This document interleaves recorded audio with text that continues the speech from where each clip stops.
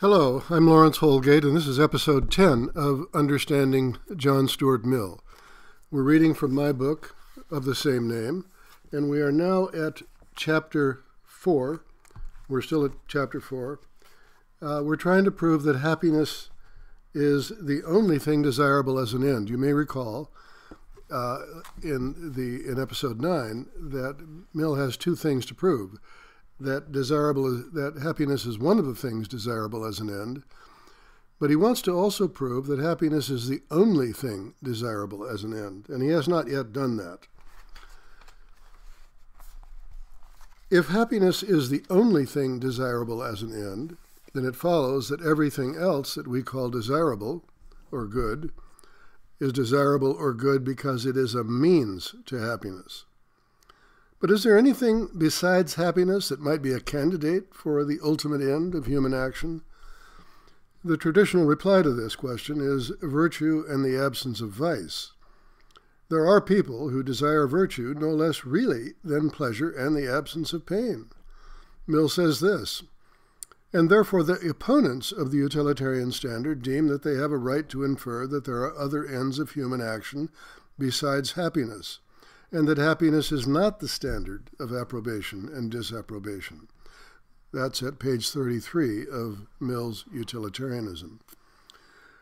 Aristotle might have been an opponent of Mill had he lived in the mid 19th century, and Mill might have dismissed Aristotle's claim that virtue is an end of human action, with the remark that virtue is desired only because it is a means to happiness, Mill would have said virtue is not an end in itself. But instead of saying this, Mill surprises us with this remark, and I'm now quoting from Mill's util- utilitarianism at page 8. The utilitarian doctrine maintains not only that virtue is to be desired, but that it is to be desired disinterestedly for itself.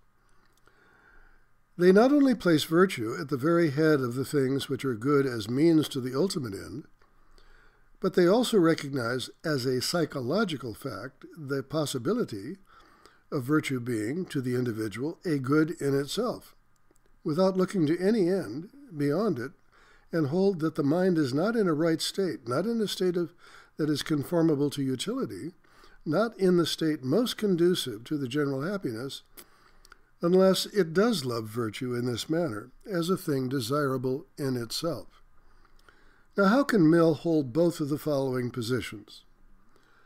First, he says that happiness is the only thing desirable as an end, but secondly, he says virtue is a good in itself, without looking to any end beyond it. That just seems a contradiction. If happiness is the only thing that is desirable as an end, then it follows that there is nothing else including virtue, that could also be desirable as an end. To put it bluntly, the second proposition contradicts the first. That is, the proposition that virtue is a good in itself contradicts the proposition that happiness is the only thing desirable as an end. Mill's reply is very clever. This is in, uh, in reading from my book, uh, understanding John Stuart Mill. I'm now, uh, we're still in chapter four, but we're looking at section 2.1 of PEP chapter four. And for you, for the, those of you who are reading the hard copy or the paper copy, it's at page 68. The title of this section is called Marts, Parts or Ingredient, Ingredients of Happiness. Mill responds that he has not departed from the happiness principle because he finds no contradiction in holding the two propositions. Here is how he pulls off this little hat trick. First, he claims that happiness has ingredients or parts. That may seem strange, we'll talk about it in a minute. Secondly, the love of virtue for some people can become a part of their conception of happiness.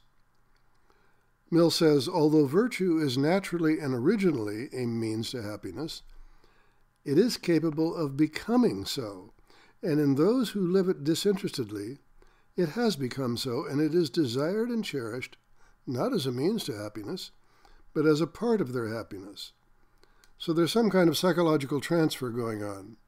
From the beginning, when virtue is simply a means to happiness, it somehow, in the years or months or days that follow, it becomes a desired and cherished part of their own happiness. It's not no longer just a means. Mill, Mill illustrates the process of how a desire for something starts out as a means to one's conception of happiness. And he eventually becomes, and it eventually becomes a part of that conception. His example is the love of money. There's nothing originally more desirable about money than about any heap of littering pebbles. We desire money because of the things which money will buy food, clothes, shelter. Money is a means to these ends, but at least for some people, the desire to possess money at some point in their lives becomes stronger than the desire to use money. It may then be said, truly, that money is desired now not for the sake of an end, but as part of the end. From being a means to happiness, money has come to be itself a principal ingredient of that person's conception of happiness. Here's some cases, some actual cases that I'll read to you. This is in a sidebar at the bottom of page 68. Richard Walters, a homeless man who lived in Phoenix, Arizona, died in 2009. He left behind a $4 million estate. He was homeless, but he had an estate of $4 million. A homeless woman who was living out of a shopping cart died on the streets of Manhattan in the same year. They found out that she had secretly amassed nearly $300,000 in her bank account. Third case a homeless man in Skellefteå, Sweden, spent his days collecting tin cans. Many people avoided him because he smelled bad and he had a general lack of hygiene. In 2010, eight months after dying of a heart attack at the age of 60, his relatives discovered that he had left a fortune of $1.66 million. These cases illustrate Mill's point. These people became psychologically incapable of spending the money that they had accumulated. Over time, the love of money became for them an end in itself, not as a means to happiness. It was an end. It is part of the, what they would count as happiness. There's two other examples that Mill has of how this happens. Uh, we have just talked about money. How about fame and power? Think of the aging actress who is severely depressed because she is no longer famous. Or think of the deposed dictator who lives in exile in a luxurious palace, lots of money, but he lapses into depression because he can no longer wield political power. The fame of the actress and the power of the dictator, which were originally a means to happiness, became at some point part of their very conception of happiness. It was so deeply a part of their conception of happiness that they could not be happy without the fame or the power.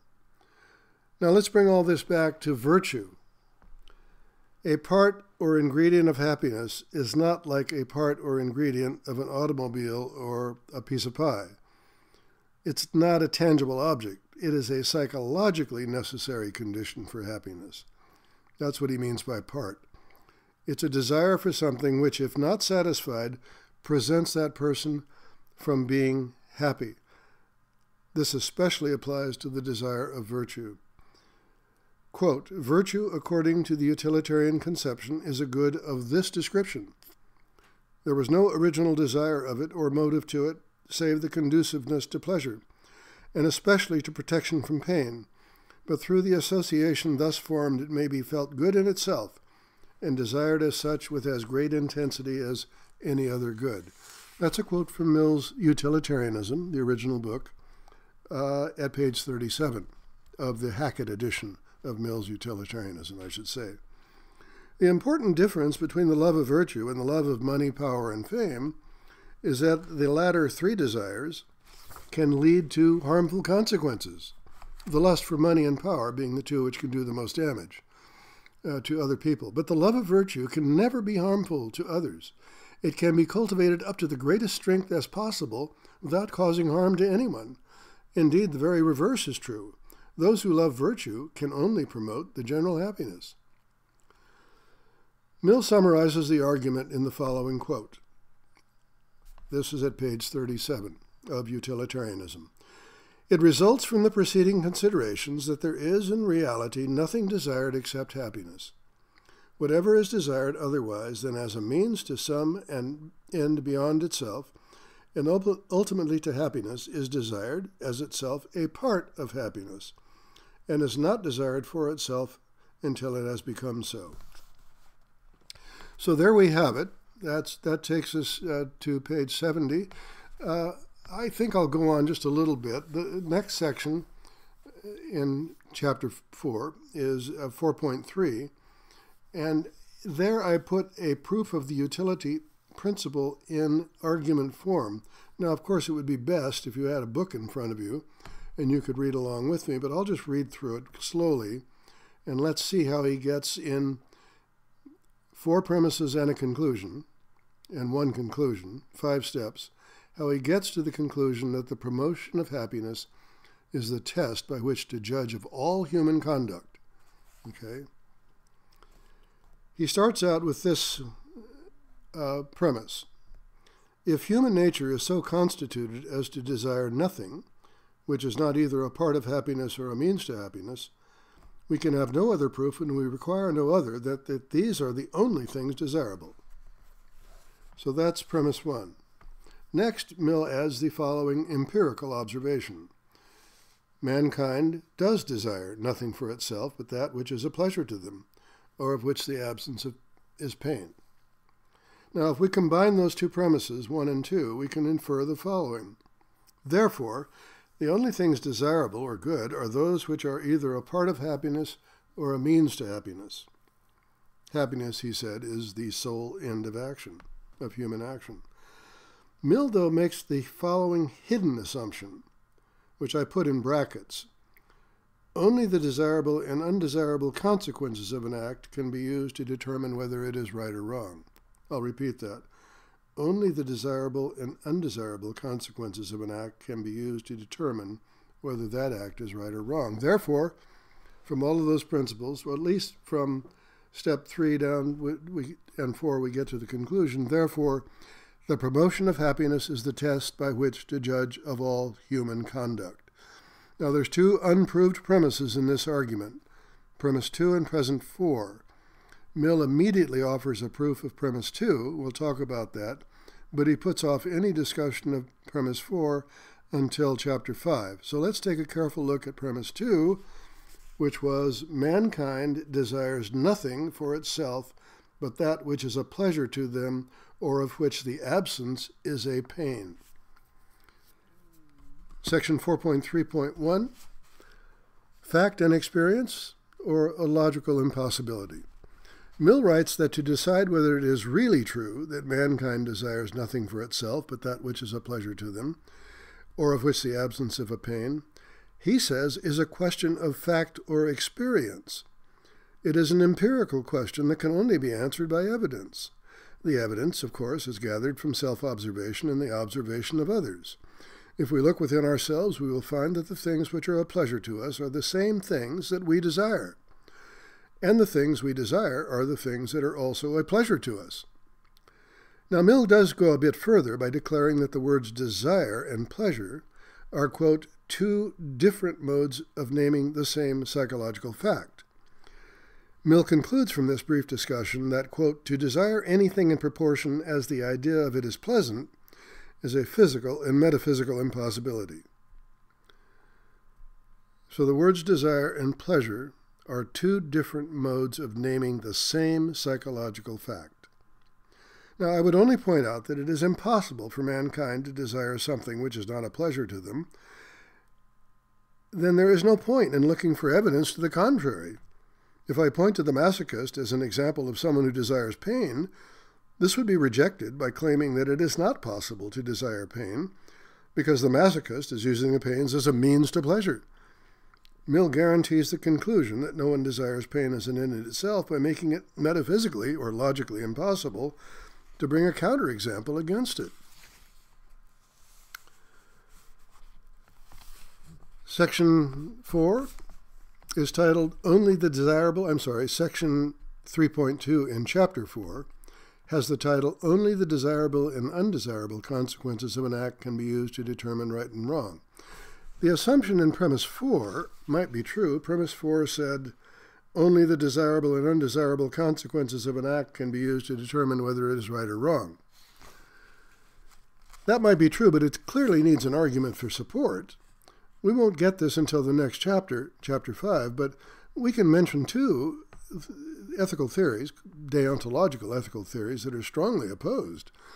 The theory of natural law, that would be John Locke's uh, uh, theory, and Kant's theory of the categorical imperative. According to Locke, a violation of the natural law is sufficient to conclude that the conduct is morally wrong. For example, if I kill one child, child to save the lives of five children, this is morally wrong, even if it can be calculated that saving the lives of five children would produce much more happiness than unhappiness than would be produced by not killing the one child. And according to Kant, as I discussed in chapter 1, of this book, where Mill had a little scuffle with Kant, the obligation not to make a false promise is absolute. It is morally wrong to make a false promise no matter what the circumstances, including the circumstance that the false premise might have overall, the false promise might have overall good consequences by producing the greatest happiness for the greatest number. So Mill has his opponents. Mill thinks he's defeated all these people, but it's it. I just want everybody to know that what you've got on one side are, are great philosophers like John Locke and Immanuel Kant, Kant, Kant presenting the natural law as, a, as his own theory, and Kant's presenting his theory of the categorical imperative. Both of them are strongly opposed to the to utilitarianism. I think we'll we'll call this a night uh, as an end. Uh, there is a little bit more in chapter four, but I think what we'll do is, stop, is skip that. It's a section on desire and will which you might enjoy reading at pages 38 to 39 of Mill's Utilitarianism. And uh, next time we're going to start with chapter 5 of my book, which is The Connection Between Justice and Utility. By the way, it's also the same chapter in Mill's book, Utilitarianism. Chapter 5 um, in a Roman, Roman numeral 5. That's all the way we, that we uh, deliver. Chapter 5 is extremely important I think, to Mill because he's going to try to bring down both Kant and John Locke. We'll see how he does it. And uh, thank you. I hope you all have uh, a, a, wonderful Thanksgiving. Uh, and uh, we will talk again next Monday. I'm sorry for, uh, for being late this time, uh, but I had computer problems. So it's not, instead of producing this at 5 p.m. It'll probably be more like uh, 7, maybe even 8 p.m. Pacific Coast time in the United States. Thank you very much, and we will talk later. Bye bye.